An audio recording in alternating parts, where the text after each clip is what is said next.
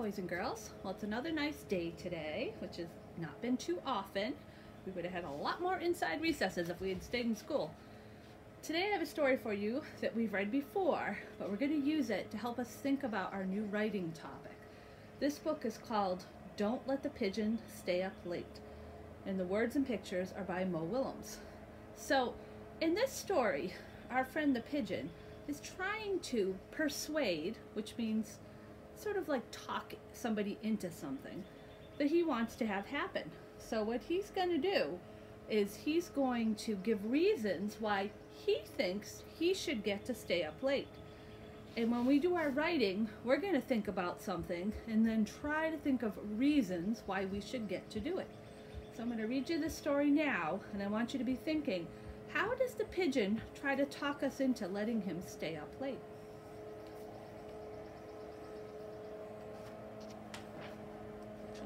Neighbor's mowing his lawn right now. Oh, good, it's you. Listen, it's getting late and I need to brush my teeth. Can you do me a favor? Don't let the pigeon stay up late.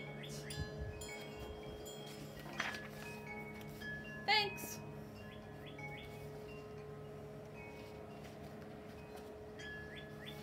First of all, I'm not even tired.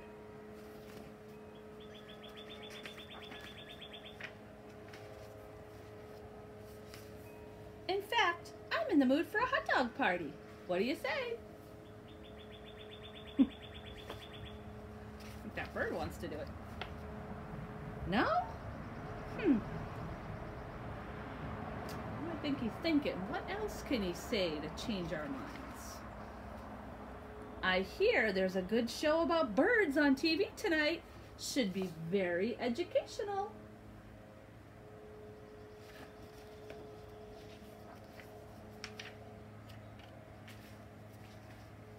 How about five more minutes? Come on.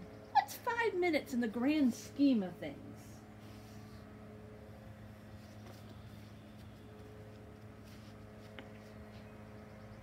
What? What? I'm not tired. Hmm? Get upset there. You know, we never get to talk anymore.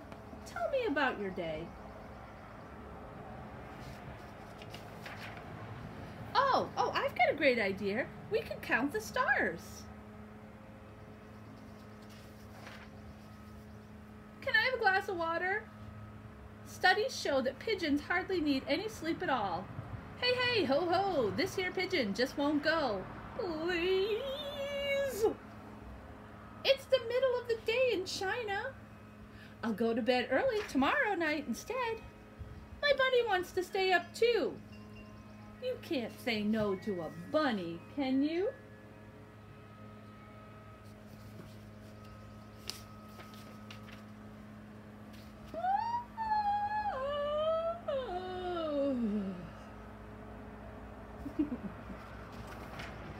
okay, that was not a yawn. I was stretching. Hmm.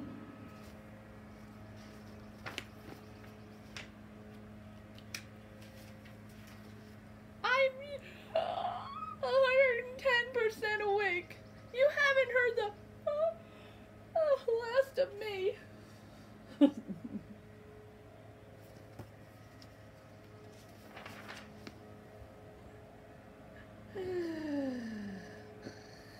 Great work. Thanks.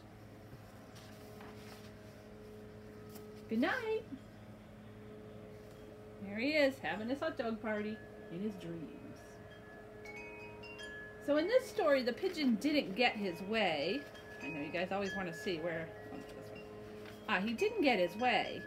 But how did he try to get his way? How did he try to talk us into letting him stay up late? So think about some of those reasons and you can um, put them in the comments or email them to us what you think the reasons were he got to stay up late and be thinking about if you were to write a story about you wanted to stay up late what would you say to your mom and dad all right have a good day